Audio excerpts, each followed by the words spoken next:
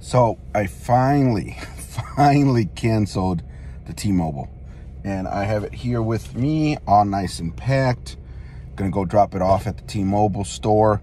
You have to cancel first by phone, get some documents and stuff, and then you can return it either through the mail or um, in person, which I'm gonna do because I have to do stuff in that neighborhood anyways.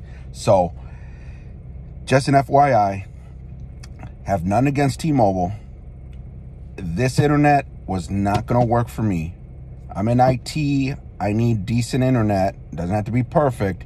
But these speeds were going from triple digits to single digits to double digits in a single day. I just think my area's just not that good. I was getting a good signal, but the speeds were all over the place.